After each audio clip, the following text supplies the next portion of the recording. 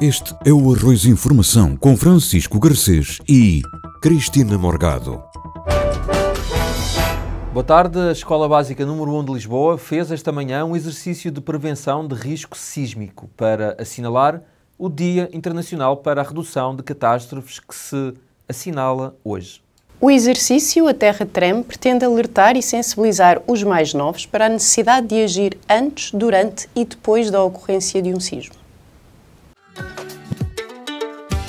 Temos esta simulação uh, no dia uh, em que tentamos uh, combater e estarmos preparados para as catástrofes naturais.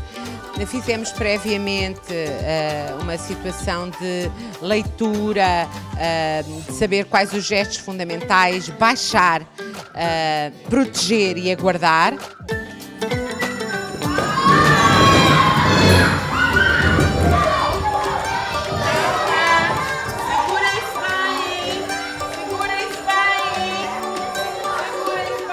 Tocaram a campainha para fingir de tumor de terra para nós ficarmos preparados para o caso acontecer algum. O que é que se deve fazer em caso de sismo? Vou para baixo de uma, de uma coisa resistente. Proteger os olhos e para não estar um, à frente dos vidros, de quadros. Ir para baixo das mesas. Só? Não, e proteger a cabeça nós vivemos numa zona sísmica, uh, as placas tectónicas estão a nível uh, mundial cada vez mais a darem, uh, a, a, terem movimentações anormais, como nós sabemos pelos meios de comunicação social, e portanto é esta proteção deles e nós todos em termos de segurança. Temos que tratar.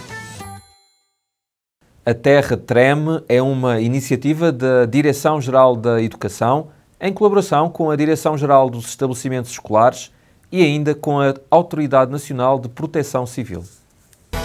Oficina de confecção de broas de noz e mel e uma demonstração ao vivo da confecção de palha de abrantes. Estas são as atividades que estão em destaque durante o dia de hoje na loja Produtos e Territórios, que se situa no Largo do Intendente Pinamanique, número 11. Hoje temos esta atividade com as crianças para dar a conhecer um dos doces eh, mais afamados. É, a palha é sem dúvida o ex-libris da, da, nossa cidade, mas as broas de mel mais alusiva aos Santos, mas faz parte da nossa doçaria e viemos fazê-la aqui a Lisboa para dar visibilidade à feira de doçaria eh, e dar a conhecer pronto, o que de melhor fazemos na nossa terra. Estas atividades com os miúdos até à hora do almoço e depois do almoço vamos ter a confecção ao vivo da Palha de Abrantes para quem quiser assistir depois das 14. Vamos estar aqui a dar a conhecer e a provar aos visitantes e a quem quiser provar a Palha de Abrantes. Já fizeste quantas?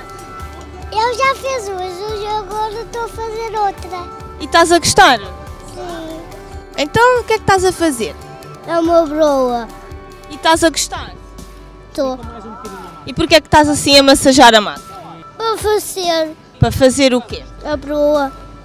Nós estamos a promover uh, a 16 uh, Feira de Doçaria Tradicional em Abrantes, que vai reunir no último fim de semana de outubro mais de 30 doceiros de todo o país, incluindo ilhas, e a intenção é valorizar aquilo que são os nossos produtos, nomeadamente a, eh, a nossa doçaria tradicional. Em Abrantes Uh, temos três uh, doces característicos, a palha de abrantes, as tigeladas e as broas de mel, que estão aqui a ser feitas mesmo por detrás de mim. E a nossa intenção é vir a Lisboa, a esta loja, que também é nossa, aqui no Intendente, para uh, divulgar esta iniciativa, divulgar os nossos produtos, para degustarem aquilo que o país tem para oferecer e que está ali concentrado nesta iniciativa. Esta iniciativa conta com a presença de crianças do Jardim de Infância da Pena. De 16 a 20 de outubro, o Grupo de Trabalho Envelhecimento Ativo, Segurança e Mobilidade da Comissão Social da Freguesia promove uma série de atividades que juntam crianças e séniores. A Semana Comemorativa da Pessoa Idosa termina a 20 de outubro com uma festa final aberta à população em geral no Mercado de Culturas.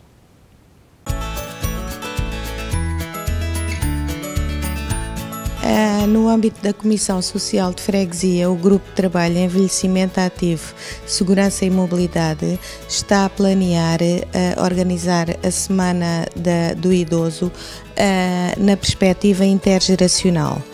Para o efeito, uh, vamos ter algumas atividades com escolas uh, e com os centros de dia da freguesia, com várias instituições na freguesia. Deste modo, uh, no dia 16 de outubro, vamos ter uma apresentação do grupo de cantares da Academia Sénior de Arroios uh, e a apresentação de, de, um grupo coral das crianças da, na Apisal. 17 de outubro vamos ter um grupo de idosos a fazerem uma aula de ginástica com, uh, com um grupo de crianças do Infantário Ribeiro, Ribeiro Santos uh, no Lisboa Ginásio Clube. no dia 18 Uh, vamos ter um grupo de idosos a fazer uma colcha de retalhos uh, na escola do ensino básico do Leão de Arroios. No dia 19, vamos ter um grupo de idosos do Centro Dia da Pena a fazer trabalhos de pintura com as crianças do Externato Passos Manuel. E no dia 20 é o culminar de todas estas atividades com uma festa na, no Mercado de Culturas na Junta de Freguesia de Arroios. Essa festa vai se desenrolar das 14h30 às 17 e vamos ter várias atividades.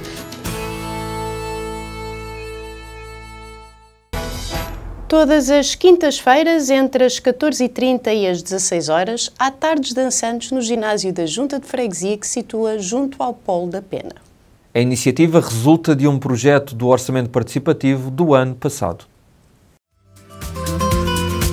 Este projeto é um projeto que hum, surge de hum, de recriar os, os, os antigos tardes dançantes, os antigos bailes que, que, se fazia na Casa do Algarve, na Casa do Alentejo e por aí afora, os bombeiros, e, e era ao mesmo tempo trazer uma atividade à população sénior. Então, como eu gosto de sair, gosto de me divertir, já que puseram, já que dão esta, esta oportunidade às pessoas para se distraírem um bocadinho, acho que aproveitei disso gosto, porque eu gosto muito de dançar. Portanto, todo o lado que haja dança, eu estou lá. Porque eu gosto muito de mexer, gosto muito de fazer ginástica, gosto muito de dançar, ando muito a pé. Portanto, para mim é maravilhoso. Gostava de dizer que, que viessem, que é bom, vale a pena, não é? E é sempre bom a gente mexer-se. Faz bem. Faz bem a tudo.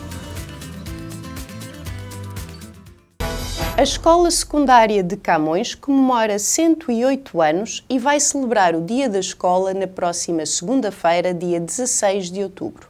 A iniciativa decorre no Auditório Camões e conta com o testemunho do alpinista João Garcia na programação deste dia.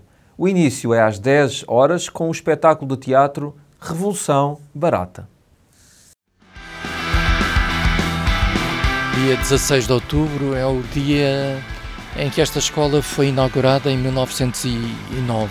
Isto quer dizer que faz 108 anos este edifício que está aqui por trás, é? e portanto é um edifício fantástico, é? que o Ventura Terra é um arquiteto também muito importante da cidade de Lisboa, e nós aproveitamos este dia para nós chamarmos o Dia da Escola, ou seja, é um dia em que nós vamos ter um conjunto de atividades, mas que sobretudo vamos chamar os alunos que terminaram o ano, o ano anterior para entregar os, os certificados e os diplomas. Assim, portanto, para concretizar o programa do dia, de manhã vamos ter o grupo Teatro da Escola, que vai representar uma peça de teatro eh, com uma, de um texto coletivo entre o grupo, eh, que eh, a encenadora chamou a Revolução Barata. E vamos ter um debate a seguir à representação, isto às 10 horas e também às 11h45.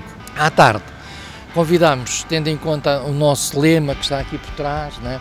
o homem é tamanho do seu sonho, achámos que devíamos convidar o João Garcia, um alpinista português, e, e portanto é alguém que acredita no sonho para fazer estes acontecimentos e que vai conversar com os alunos e, e da importância que é nestas idades o sonho e a importância da dedicação para o futuro deles. Depois entregaremos os certificados de mérito aos melhores alunos do que do ano passado, nas ciências, na, na informática, nas humanidades, nas artes e nas socioeconómicas, e, e, e terminamos às 19 horas né, o, com um filme português num auditório, Zona J, eh, dentro do ciclo das segundas-feiras. O bairro da Madragoa recebe, a partir de hoje, a segunda edição do Traça Mostra de Filmes de Arquivos Familiares. Esta é uma iniciativa com a organização do Arquivo Municipal de Lisboa com o objetivo de divulgar vídeos amadores que demonstrem memórias da cidade de Lisboa. A entrada é livre. O projeto traça uma mostra de, filme, de, de filmes de arquivos familiares. Uh, é um projeto da Videoteca Municipal de Lisboa e, e, estamos à beira, nas vésperas da segunda edição desta mostra e agora estamos na Madragoa para uh, recolher as memórias e os filmes deste bairro. Convidámos seis artistas para trabalhar os filmes de família na nossa coleção e, e pronto, eles trabalharam, fizeram seis criações, vão ser apresentadas agora durante estes três dias da, da mostra. Descobrimos após a integração da Videoteca Municipal no Arquivo Municipal de Lisboa, descobrimos uh, cerca de 30 horas de imagens, umas imagens muito misteriosas, muito interessantes, que eram diferentes de, de outras, outras imagens que tínhamos no, no, nosso arquivo e que eram essas tais imagens de, de filmes de família. Abrimos uma angariação logo de seguida e criámos o projeto Traça. Uh, nessa angariação apareceu muita gente para ceder as suas imagens e neste momento temos já em arquivo cerca de 100 horas de imagens com uma lista de espera de 50 coleções para digitalizar, portanto isto está, está a ser bom, não é? Não, não temos em mãos a medir, é um bocadinho assim. Vamos às notícias sobre condicionamentos de trânsito. A Praça da Ilha do Faial encontra-se com alguns constrangimentos até dia 19 de outubro das 10 às 16h30. Já a Travessa do Bem Formoso vai estar com alguns constrangimentos até dia 20 de outubro, também entre as 10 e as 16h30. O Largo Residências, situado no Largo do Intendente Pinamanique, recebe esta noite a festa de antecipação do DOC Lisboa 2017. O evento conta com o DJ Rádio Mundo e tem início às 22 horas. O Festival Internacional de Cinema vai percorrer algumas das salas de cinema da capital entre os dias 19 e 29 de outubro. Pode consultar a programação completa no site em rodapé. Está prestes a arrancar o curso de Língua e Cultura Grega na Biblioteca de São Lázaro. Hoje, entre as 16 e as 19 horas, o professor José Luís Costa vai estar na Biblioteca da Freguesia para esclarecer dúvidas e ouvir expectativas dos futuros alunos. Mas não só, hoje há também oficina das malhas às 17h30 e amanhã uma hora do conto com a educadora Maria João Guzmão. Esta semana, aqui na Biblioteca de São Lázaro, eh, continuamos com eh, esta série de livros infantis que foram proibidos eh, e continuamos a contá-los às crianças. Foram livros que foram proibidos em 2015 pelo, pelo Presidente da Câmara de Veneza. São livros que apelam à, à, à integração da diferença, são livros que apelam a à identidade, são livros que apelam a, a, ao aceitar a diferença e, e, e ser corajoso. Uh, e portanto, o livro que nós vamos ap apresentar hoje uh, chama-se Os Cães Não Dançam Ballet e é um livro uh, que exatamente fala sobre esta possibilidade de se fazer o que, o que se acha que é impossível de se fazer. E neste caso, os cães dançarem ballet. Um, portanto, vamos ter aqui a leitura de, desta história e a seguir vamos ter uma pequena atividade relacionada com, com o movimento, como apela a, a este, este título. Fica por aqui o Arroz Informação de hoje. Aproveite o fim de semana para uma ida à biblioteca e continue na companhia da Arroz TV. Tenham um bom fim de semana.